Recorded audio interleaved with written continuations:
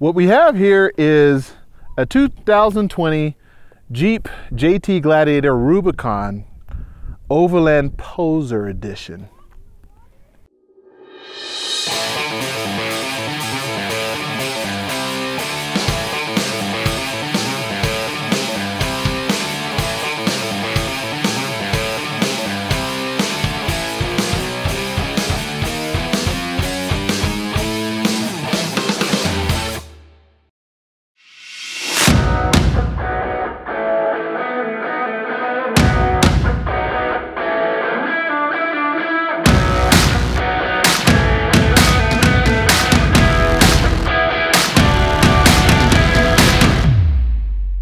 Started off being a um, weekender kind of uh, you know wheel it every once in a while don't want to scratch it don't want to dirty it but then it turned into hey i want to camp i want to cook i want to bring the kids along. So it kind of turned into a rock crawler ish overlander type mall crawler What's still stock on it is the, the motor, which is the 3.6 Pentastar with powered by the 8-speed transmission. Um, the drive lines are still stock. Well, the rear one is still stock. Front one, I have a uh, Adams drive shaft. I got Ultimate Dana 60s, uh, 538 gears with e-lockers because I think now that's the trend now. That's the way to go. Um, less issues with uh, uh, air lockers uh, and you know airlines and things like that. I've never had a problem with e-lockers, so that's my preferred option.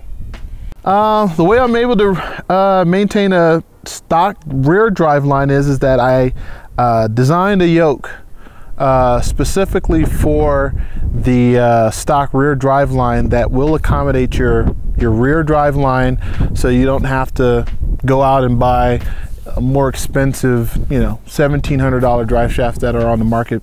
Granted, they're good, but, you know, uh, stock has proven to be um, pretty tough um, holding up wheeling. Uh, the engineers at Jeep, they did an awesome job with designing front and rear drive shafts. So I just wanted to kind of keep that. So in case you break your drive line, get it wadded up or something like that, it's a lot easier to find a, uh, stock drive line at your local dealership versus a custom drive line. All right, so what we have here, of course, is uh, Evo Manufacturing's uh, Enforcer Pro for the JT Gladiator. Uh, coilovers front and rear, 2.5 uh, coilovers front and rear. Um, get plenty of flex out of them. I, I loved it in my uh, JK, loved it on my um, JL, and it was a must for me to put it on my JT Gladiator now. So got my Evo front bumper. This bumper has been around for quite some time and it has proven to be uh, um, a reliable, high clearance um, bumper. Um, this bumper allows me to rotate the, uh, the electronic uh, disconnect for the Rubicon uh, JT Gladiator slash JL or JK and um, move it up out of the way. Just one less thing to get hung up on rocks or when I'm approaching a huge ledge or a rock or something like that. I got Evo rock skins on the sides uh, paired with uh, some custom made Evo uh, JT Gladiator weld-on rock sliders. Yeah, so I got a unique setup back here. As you can see, it's a little bit different from your normal JT rear end here.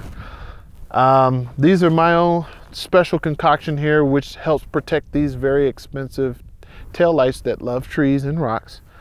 Um, and it's paired with Wilco's Wilco Off-Road's uh, tire carrier. Now I know it's not it's not made for a 40 inch tire. It's actually made to go up to a 37 inch tire, but there's a few mod minor modifications I've done to it. Um, I added a stinger on, I raised it up a little bit higher to give me a little bit more clearance so you can see the license plate and everything else. I added a strap for um, more rigidity so it won't shake or anything on me. And it turned out perfect. I was able to also retain my backup light. So I added that on to their, um, to their, uh, their mount here that helps secure the tire on.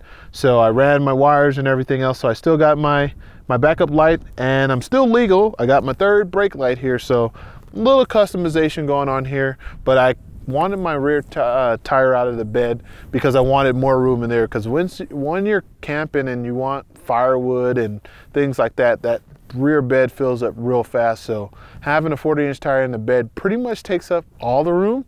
Um, if you want to run a fridge and your tools and everything else. So having it on the tailgate is essential for me. So this is what I came up with. It's been working great. I hadn't had any issues. I haven't hung it up at all. Haven't bent it. It's perfect for me.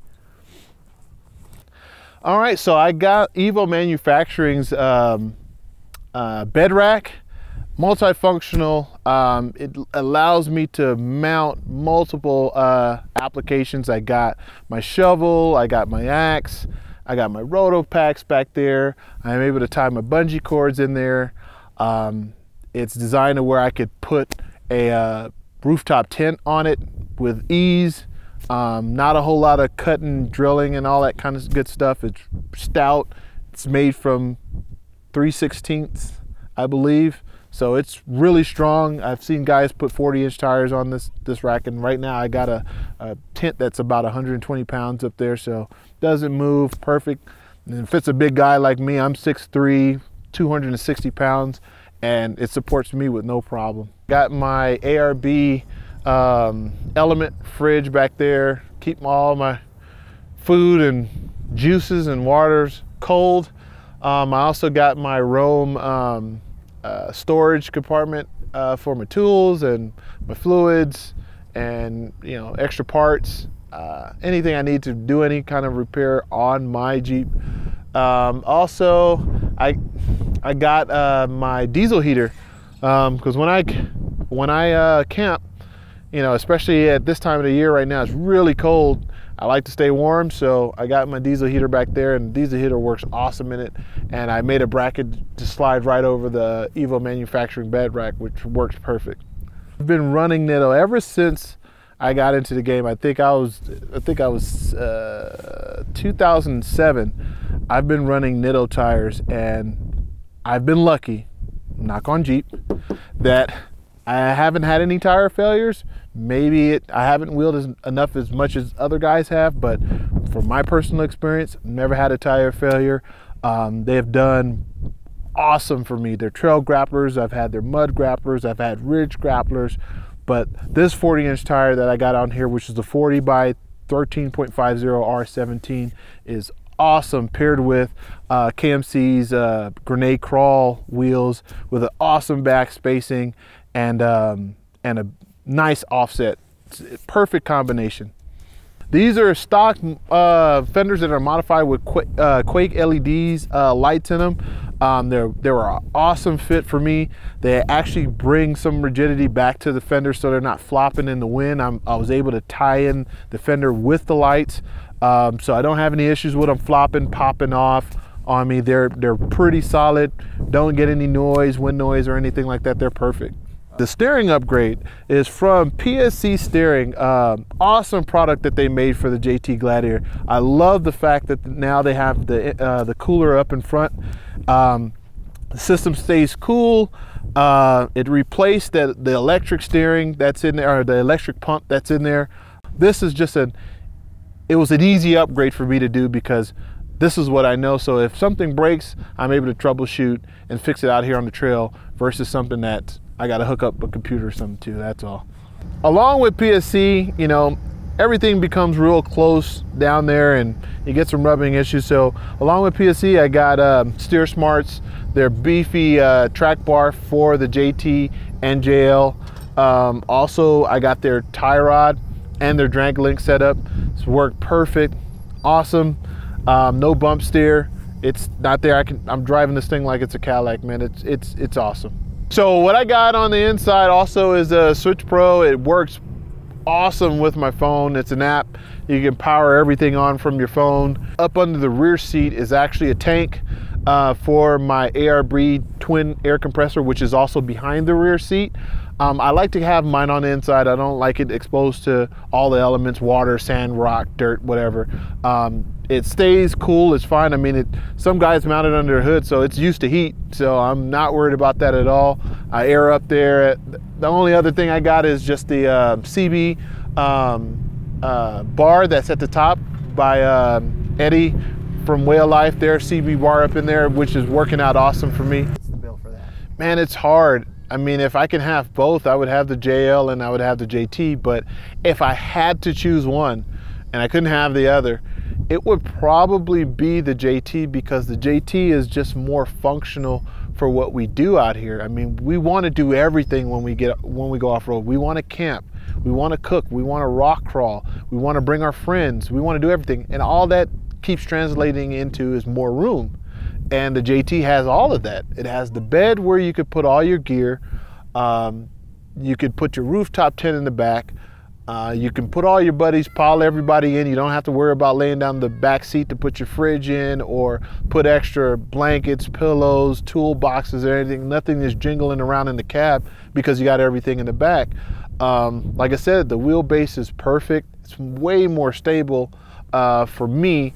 I have a lot more confidence driving the truck versus the, the Jeep because of just how stable it is. I mean, granted, you know, wheelbase is not everything. I mean, you will have issues where you're, you know, going through tight trees or, you know, sharp switchbacks and things like that where you have to do a couple of turns, back up, turn, back up, turn.